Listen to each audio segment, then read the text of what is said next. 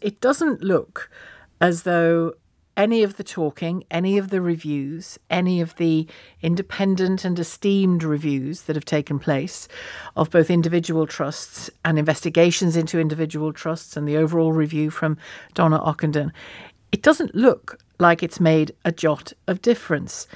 Uh, the Care Quality Commission has said maternity failings that, that's the, the body that investigates the quality of our hospitals and other health um, health um, uh, delivery they say that failings at uh, the, the hospitals that were deemed to be problematic in the first place are not diminishing but becoming more widespread. And it warns that preventable harm uh, is at risk of becoming normalised.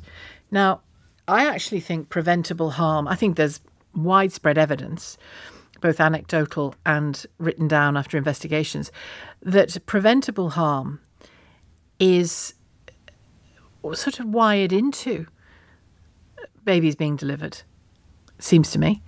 So many women, whenever we talk about this, the, the phone lines just light up because so many women experience not being listened to, experience uh, longer term damage or pain to their body, and so many other people, both out in the world and in the NHS, who they subsequently seek help from, um, act as though, well, it's just one of those things. You know, you've had a baby.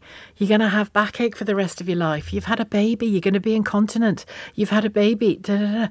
You know, it, it's like when a woman who's menopausal uh, seeks help for that. It's like, well, you're middle aged. You know, a, a, lot of that is running through this.